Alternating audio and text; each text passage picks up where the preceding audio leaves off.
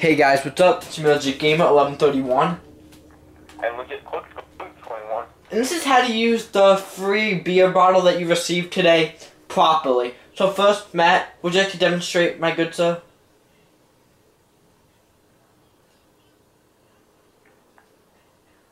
Now my turn. This technique, it usually only takes two tries.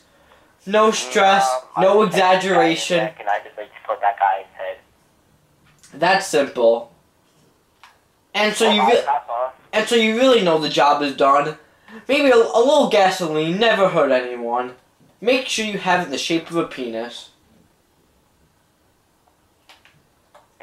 And now with the new and now with the new gay ass ha- and with the new gay handgun, putting it on fire has never been easier. Thank you for watching. Make sure to subscribe to me and my friend Legit Quick Scope 1121. His name will be in the description. Bye guys.